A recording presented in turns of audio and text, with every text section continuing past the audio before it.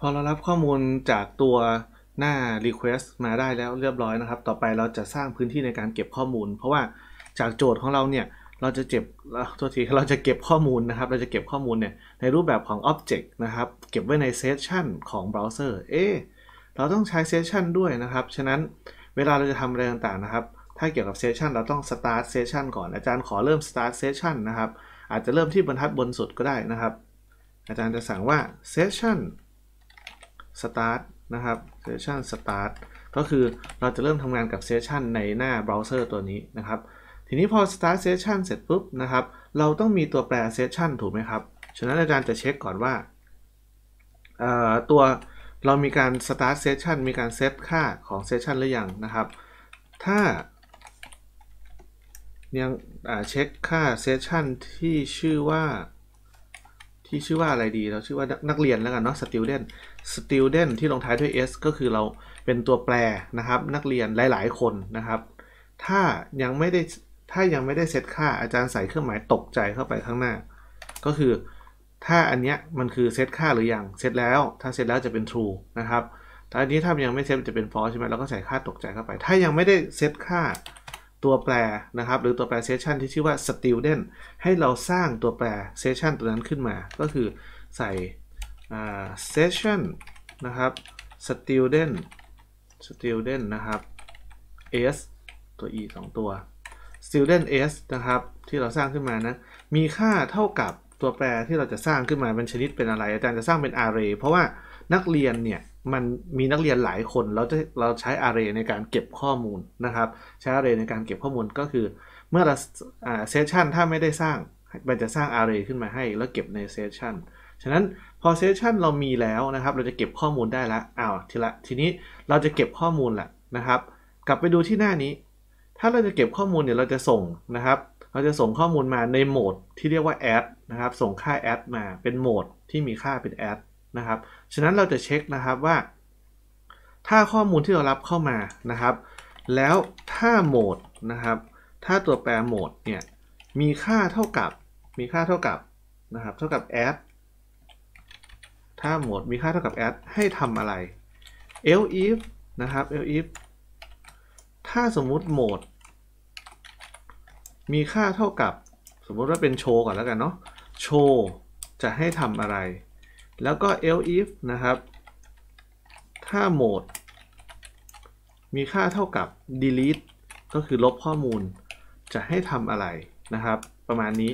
ฉะนั้นเนี่ยเราจะสามารถเช็คโหมด เวลาเรา request มากด add กด delete กด show เนี่ย เราเช็คตรงนี้ได้ เสร็จแล้วพอเราเช็คปุ๊บ ให้ทำอะไรก็เขียนโค้ดอยู่ในบรรทัดที่ 24 26 28 ตรงนี้นะครับ ทีนี้เราเช็คตัวแรกเลย ถ้ามีการ add ข้อมูลเข้ามา เราจะเอาข้อมูลนั้นน่ะ ไปใส่ใน array ใน session นะครับ ใน array ที่เป็น session เราจะเก็บข้อมูลเข้าไปยังไงนะครับ วิธีการเก็บข้อมูลโอ้โหง่ายมากครับ เราเอาตัว array ตัวนี้เราจะเก็บข้อมูลของนักเรียนใช่ไหมครับ นักเรียนมีทั้ง id มีทั้งชื่อ มีทั้งตัว gpa ฉะนั้นเราต้องสร้าง object ของนักเรียนขึ้นมาก่อน เพราะเรามีคลาสนักเรียนแล้วใช่ไหม เราก็สร้าง object นะครับ อาจารย์ก็เลยจะทำการสร้าง object ว่า student student ตัวนี้ไม่มี s นะครับ student ตัวนี้ไม่มี s แต่ student ใน ใน session จะมี s ด้วยก็เป็นพหูพจน์นะครับ อันนี้เป็นเอกพจน์นะครับ เราสร้าง class เอ้ยสร้าง object เท่าทีครับ ใช้คำสั่งเลื่อนขึ้นนิดนึง ใช้คำสั่ง new student ครับ ง่ายมากเลยเหมือนเหมือนเราสร้างใน Java ใน C น่ะครับ แล้วทีนี้มันมี constructor ใช่ไหมครับ ข้างหลัง constructor ข้างหลังเนี่ย เรากำหนดว่าให้ใส่ตัวแปรอะไรบ้าง ฉะนั้นมันมี 3 ตัวแปรครับ id name gpa เราก็เลยต้องใส่ id นะครับตามเขาเลยนะครับ id นะครับ name อ่าตัวนี้ของเราเป็น full name เป็น full name นะครับ ฉะนั้นเราต้องเอาตัวแปร full name เนี่ยมาใส่ และตัวแปร gpa มาใส่ ฉะนั้นที่บรรทัดนี้ถ้าเรากด add มาปุ๊บเนี่ยข้อมูลของ id full name gpa จะถูกสร้างไปเป็น object นะครับ ได้เป็น object student จากนั้นเอา object เนี่ยไปใส่ใน array เพราะเรามี array ไงนะครับ เรามี array ที่อยู่ใน session นะครับ เราจะเอาไปใส่ใน array ได้ยังไง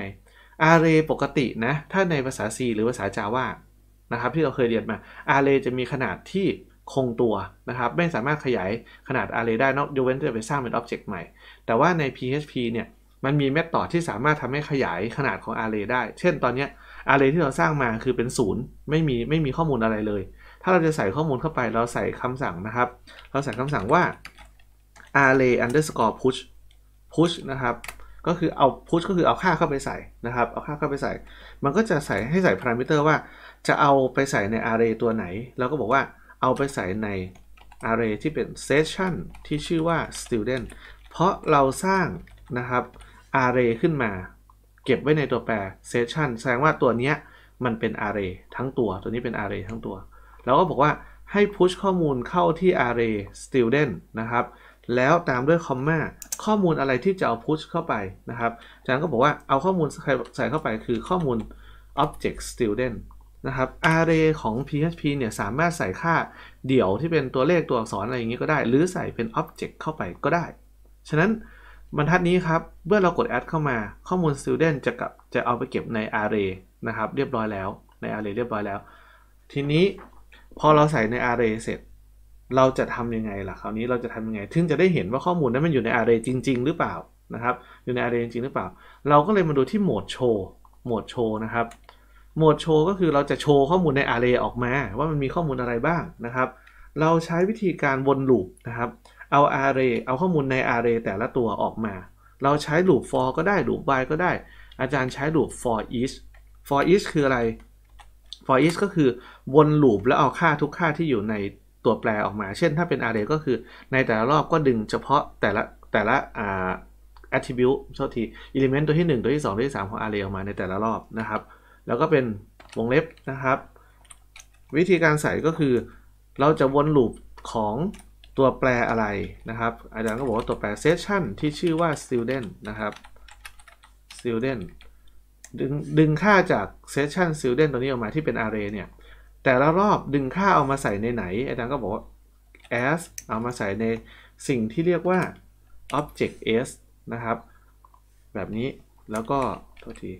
เสร็จแล้วก็ปิดการเปิดปิดแบบนี้ครับ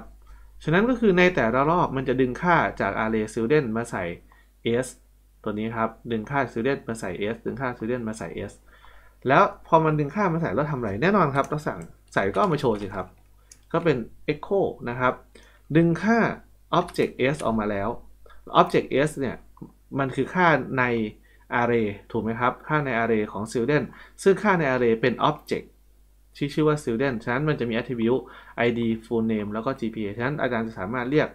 attribute ได้ก็คือใส่เครื่องหมายไอ้ลูกศรตัวนี้นะครับ แล้วก็ตามด้วย id นะครับ id แล้วก็ต่อด้วยข้อความ อันนี้ขอย่อตรงนี้กลับลงไปครับ ต่อด้วยข้อความว่า มันมี id แล้วใช่ไหมก็ต้องมีชื่อใช่ไหมครับ ก็จะเป็นต่อด้วย dollar sign s นะครับ object s ข้อความก็คือ full name นะครับ เพราะว่าเรามี object เรามี attribute full name ไงใช่ไหม จากนั้นต่อด้วย GPA นะครับ ต่อด้วย GPA เอ่อเป็นตัว object s นะครับ แล้วก็ GPA แบบนี้ แล้วจบด้วย semicolon ฉะนั้น แถมอีกนิดนึงเว้นบรรทัดให้ด้วย ใส่เว้นบรรทัดแท็บ br เข้าไปด้วย แบบนี้นะครับ เวลาเราปริ้นนะครับ เราส่งข้อมูลมาเป็นโชว์นะครับ ส่งข้อมูลจากตรงนี้ถ้าเราส่งเป็น object เป็นเป็นโหมดการโชว์ มันจะไปเอาค่าจาก session มา แล้วก็มาปริ้นให้ดูในแต่ละตัวแต่ละตัวแต่ละตัว โอเค